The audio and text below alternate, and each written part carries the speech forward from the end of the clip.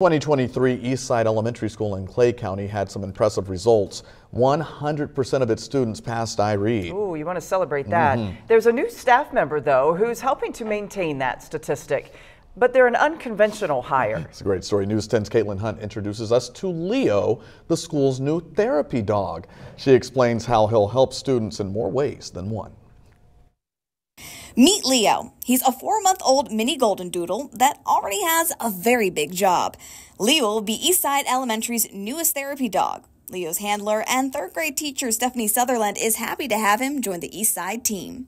I'm really excited to be able to work with a dog that will have a job and that will be able to, you know, support other people around him and students here at Eastside. School administration has already found a specific duty for this little pup. Eastside Principal Lisa Frodeman says Leo will be a literacy dog. Students who may struggle with reading or who are a bit shy about reading out loud can gain confidence by reading to Leo.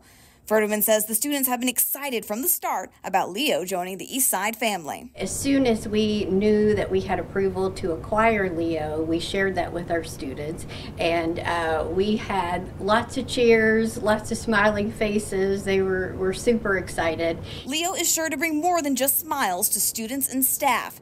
Furterman says he should help with students' moods and other feelings. A lot of research out there that tells us that therapy dogs really help with uh, student anxiety, uh, really help calm students down in certain situations.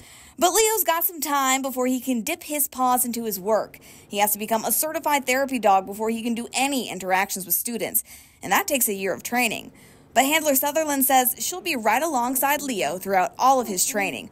Also, he can become a shining member of Eastside Elementary. Everyone loves dogs. It just helps them, you know, kind of shine a little brighter. And I think that that will be a really good thing for our school and that the work that he will be doing will really help those students that are involved here at Eastside. In Clay County, Caitlin Hunt, News 10.